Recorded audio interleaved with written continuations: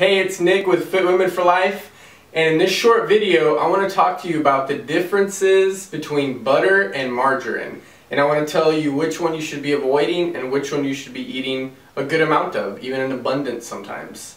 So butter versus margarine, we've heard that butter, which is a lot of saturated fat, is bad for you. This is false. Saturated fat has been demonized far too long, and we at Women for Life are going to stop that madness we need to start demonizing or uh, showing people like you the negative consequences of eating unsaturated fats like margarine.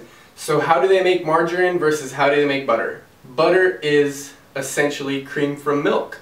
Margarine is what? It's soybean oil, cottonseed oil, canola oil, you name it. You name the genetically altered seed or uh, wherever they extract the oil, and margarine, it, the all the different types can have it. Butter from grass-fed, grass-finished cows is awesome for you, contains awesome saturated fats, contains um, a little bit of protein, a few good vitamins and minerals, and versus margarine, which contains nothing. Actually, the things like unsaturated vegetables in margarine are uh, de uh, detrimental to your thyroid, your metabolism, your digestion, just overall bad for you, margarine.